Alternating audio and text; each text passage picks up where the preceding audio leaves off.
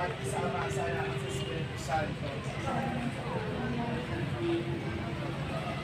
Jesus na nakapako sa Cruz, maawa ka sa amin. Sa alam na ama, sa Espiritu Santo.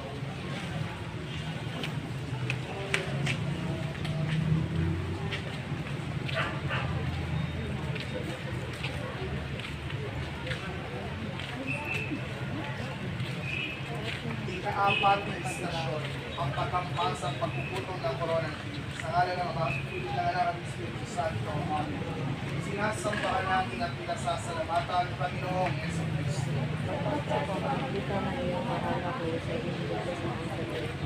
Sinabi sa kanila